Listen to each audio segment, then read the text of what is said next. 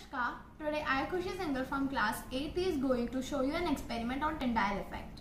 What is Tyndall effect? Tyndall effect is a is also known as Tyndall phenomena.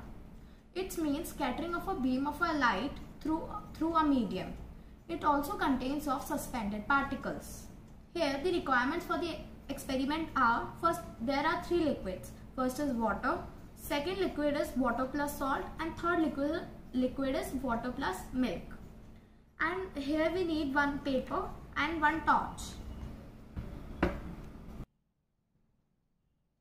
Now we are experimenting on our first liquid that is water. Now we are bringing one torch here and a paper here.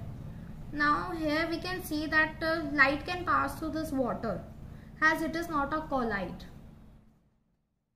Now we are experimenting on a second liquid which is water plus salt.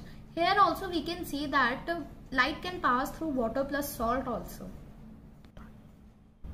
Now we are experimenting on our third liquid which is water plus milk. Here we can see that here it is uh, I have put a torch on water plus milk. Now we can see here that no light is passing through it because it is a colloid in which the light is absorbed by this water plus milk. Hence we see from our experiment that two liquid water and water plus salt through which the light can pass but through water plus milk we cannot see because water is a colloid. Thank you. you I hope you like this video.